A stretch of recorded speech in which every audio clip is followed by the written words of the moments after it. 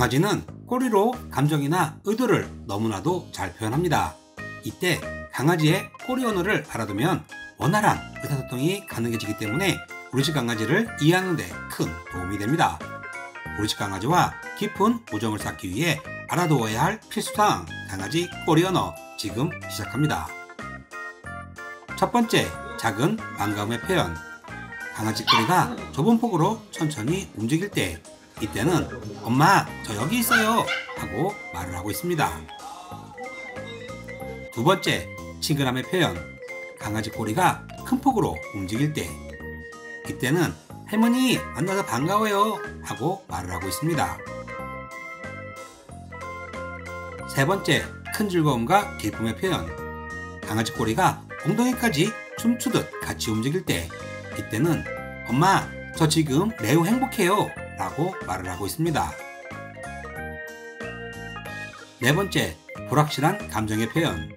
강아지 꼬리가 중간 정도 높이에서 천천히 움직일 때 이때는 어라?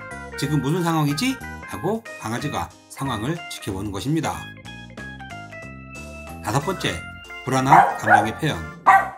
강아지 꼬리가 좁은 폭으로 아주 빠르게 진동할 때 뭐지 지금 이 상황은 도망가야 하나? 하고 생각을 하고 있는 것입니다. 여섯 번째, 최고의 경고, 위협의 표현.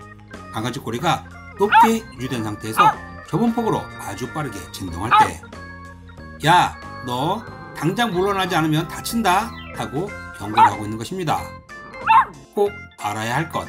우리 집 강아지 꼬리가 몸의 왼편으로 치중해서 흔들어댄다면 현재 공격적이고 낯선 상대를 만났다는 의미입니다.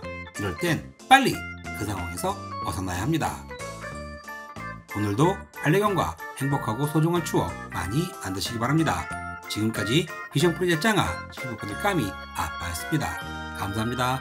Thank you